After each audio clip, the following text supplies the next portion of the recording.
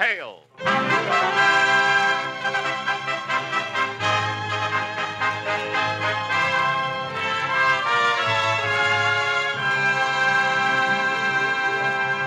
Hello from Hollywood, ladies and gentlemen. This is C.P. MacGregor speaking, and welcoming you to another performance of your War Department program, Proudly We Hail. Through the courtesy of the Hollywood Coordinating Committee, we present Mr. Wayne Morris, the star of our show, Between Stations, written by Tom Petty with music by Eddie Scrivanik.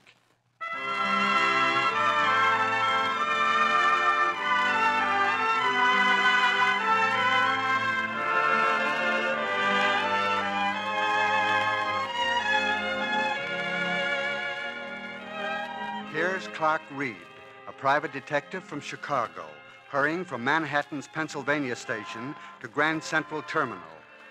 It's a short taxi ride, but there's lots of scenery. Hey, taxi! Yeah? Taxi! Take me to Grand Central and you get a buck for every minute you cut off 15. Just a minute, Sport. I'm taking this cab. Oh, sure, if you're going to Grand Central, climb in. There's plenty of room. I'm going there, all right, but I'm going alone. Well, that's a good idea, but I don't like it. Climb in or start walking. Let's go, driver. Hold it, Bugsy.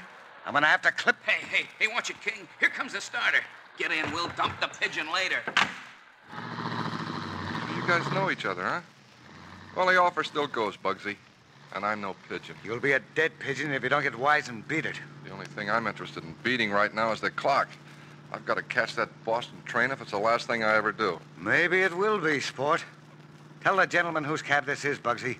Well, it ain't mine, mister. Next stop's the end of the line for you, Sport. I'm in a hurry, so I'm letting you out in one piece. Oh, okay, okay. Now I know you mean it. I can feel the nose of that rod in your coat pocket. It's burning me like dry ice. So you're Mr. King, huh? And Bugsy's your man Friday. This is a hot cab, you don't like cops, and you gotta run on schedule. It's beginning to add up. Shut up. You talk too much. I like to talk. And I'm beginning to enjoy this ride. I like the scenery. A couple of cops in every block. You boys don't like cops, but I think they're wonderful. Oh, come on, let them have it, King. Let them have it now. Keep driving. Now, don't scare me, boys. There's cops around, and I might yell. Come on, I'll gun the motor, boss. Quit beating your gums, Bugsy. We gotta be clean when we pick up Fay. Yeah. Well, after that happens, you'll have to bump him. It'll be a pleasure. You guys make me nervous. There's Times Square ahead, Bugsy. You better head for the station or I'll yell for a cop. If it was me, King, I'd let him have it right here on the avenue. Keep your mind on your job. They ought to show up any second. Who's this Fay dame? Say, what are you guys running anyway? A bus line? There she is, Bugsy. Over by the bank entrance. Uh, yeah, yeah, yeah, I see her. Slow down. Head for the alley.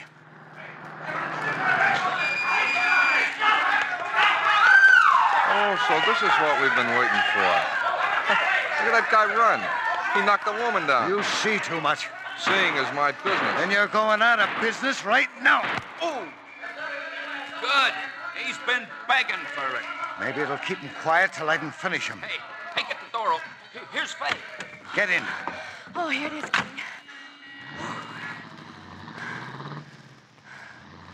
Did you get the satchel, Fay? Oh. The right one? Oh, of course.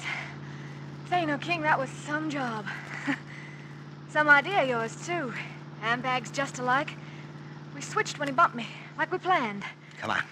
Let's have a peek inside. Hey, hold it. Who's your sleeping friend? Hitchhiker we picked up at Penn Station. Huh.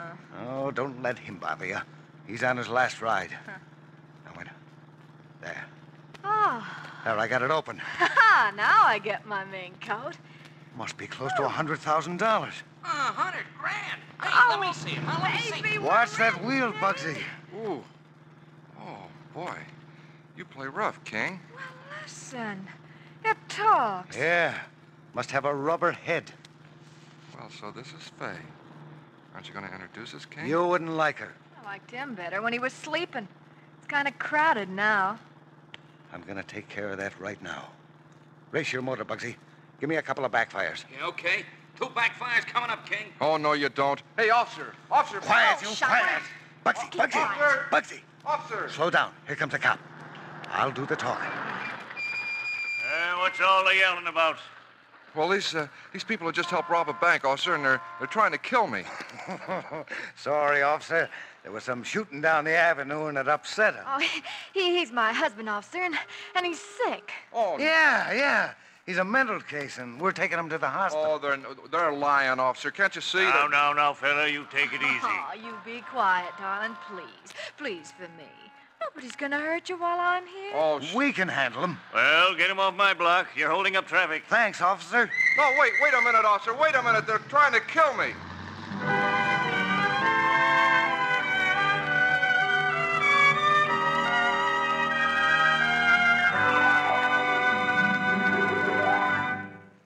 Our story, starring Wayne Morris, will continue immediately, following an important message from a distinguished state official, the Honorable Horace Hildreth, Governor of the state of Maine, who said recently, The American people, through unified effort, untold sacrifice, and the determination to win, have been instrumental in victoriously concluding the first global war in our history. The victory, won at the cost of more than a million American lives, must be zealously and vigilantly safeguarded.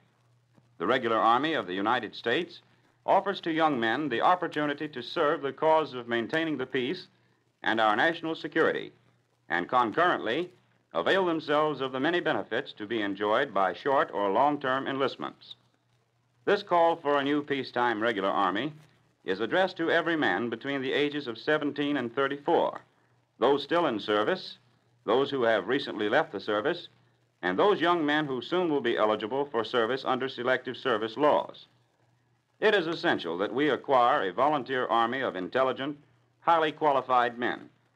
We cannot face the age of atomic power with anything less than the highest caliber of troops. To facilitate this task, the Congress has designed a modern American pattern for regular Army life, including inducements of which the old Army never dreamed. Service in the new regular Army might now be called the world's best job. Few positions in life offer the same long term advantages in pay, advancement, security, travel, and education.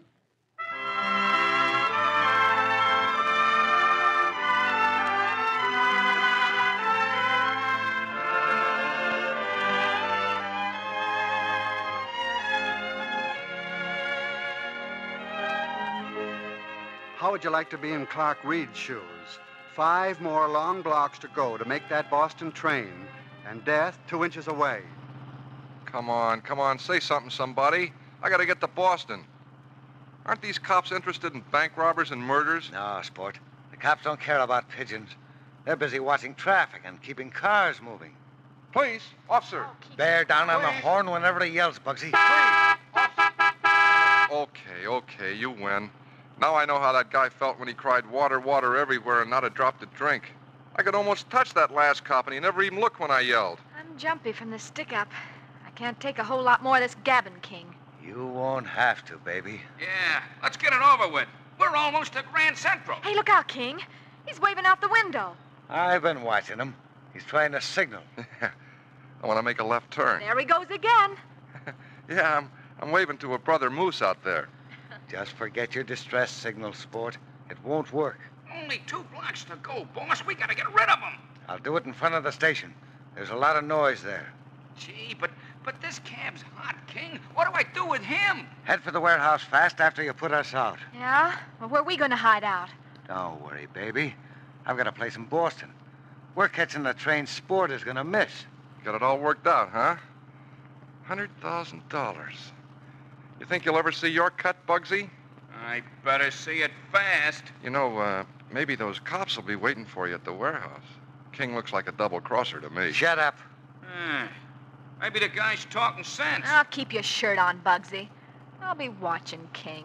Yeah, and who'll be watching you, sweetheart? I don't trust Dame. Are Right down, won't- both of you. When I finish with him, Bugsy, take him to the warehouse like I told you. The boys will dump the hot car and the body at the same time. Well, you sure everything's Jake? Of course. Have I ever let you down, Bugsy? Look, look, uh, fellas, if you're making all those plans for me, you're wasting your time. I'm catching the Boston train. All right, Bugsy. Make with the horn. This is it. Oh! Oh, that car's going to hit us. Why, that- Oh! Oh, Whisper. Oh. Hey, hey, what's happened anyway? Oh, it looks like every car in town's following us. Sure, didn't I tell you? New York's having a moose convention. Hey, hey, hey, they got me jammed. I, I can't move an inch. What did you throw out the window? Something that everybody's interested in, even cops. You better think fast, King. Stand back, everybody. Hey, you in the cab. Where's the guy who's been throwing $5 bills out the window? Right here. He's out of his mind. I'll say he is. I guess you men had better take him off our hands. He's too much for his wife and me. We'll get him a nice Oh, look, look, I'm getting tired of that gag. I'm not crazy. Officer, arrest these people. They're bank robbers. Oh, poor dear sport. He ought to be in a hospital. My name's not Sport. It's Clark Reed. Clark Reed's a private dick from Chicago, and nobody ever saw a private dick throw away money. You have. Here, uh, take a look at my license. Well, yeah, you're Clark Reed, all right.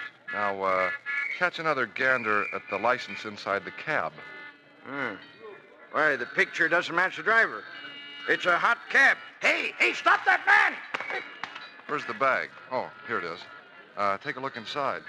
Holy smoke, it's full of dough. Hey, wait a minute, Reed. What were you doing in the cab? Well, I went along for the ride, and darn near got taken for one. Well, they're all yours, officer. I gotta be going. I got three minutes to catch a train. Well, sorry, you'll have to stick. We'll need you as a witness. Oh, but look, I gotta get to Boston. It's a matter of life and death. Now, I did you a favor. How about doing one for me? Send a cop along to guard me if you don't think I'll be back for the reward. You'll be back, but I think I'll send Joe along to keep you company. Okay, come on, Joe. Throw it in high. We're going to Boston. The Red Sox are playing the Yanks tomorrow, and I've got a box seat.